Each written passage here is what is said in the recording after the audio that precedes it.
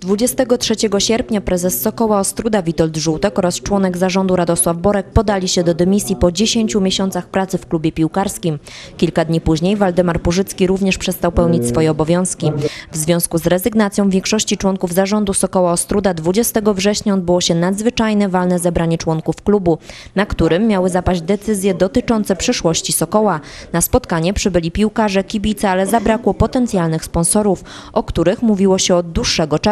Przedsiębiorcy potrzebują jeszcze czasu do namysłu i dlatego zabrakło ich na wrześniowym spotkaniu. Członkowie klubu zadecydowali, że przerywają obrady i dają czas potencjalnym sponsorom do końca października.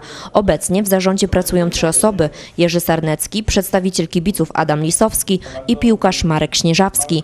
Zawodnicy o problemach w klubie muszą zapomnieć, bo już w najbliższą sobotę czeka ich walka o kolejne ligowe punkty. Sokół Ostruda zmierzy się z Dąbrową Białostocką. Pierwszy gwizdek sędziego o godzinie 18.